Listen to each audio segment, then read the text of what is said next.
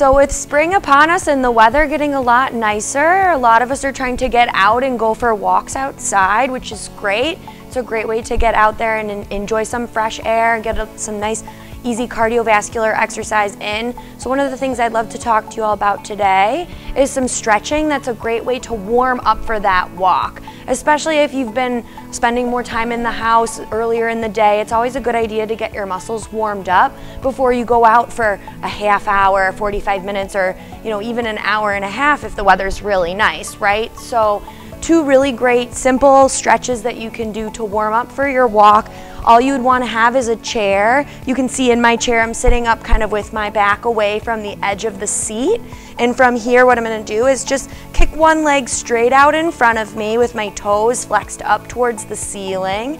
Sometimes just sitting up tall in this position will start to give people a little bit of a stretch back here in the back of the thigh or in our hamstring. If you need a little bit more of a stretch, keeping that nice straight back, you'll just start to fold forward as if you're trying to reach towards your toes, making sure that you're not hunching through your shoulders. You wanna be sitting up nice and tall and just hinging at the waist, holding here for about 30 seconds, and then you can sit up and switch and do the other side.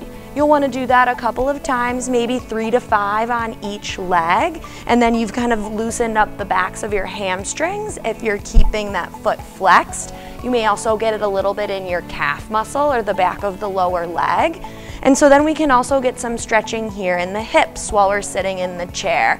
And what you can do is just sit up again nice and tall and kind of fold one ankle over your knee here. And again, oftentimes just sitting up tall in this position is gonna create a stretch here kind of in the outer portion of your rear end.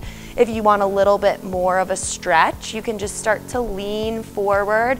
Again, keeping that nice posture in your back, not slouching forward. And you hold there for again about 30 seconds. And then you can just sit back, if you want to switch between the two sides and alternate, that's great. Or oftentimes I'll just do this straight through three to five times on one leg, and then I'll switch back and do the other side. But these are some really easy stretches you can do just sitting in a chair to act as a nice warm up before you go out for a walk.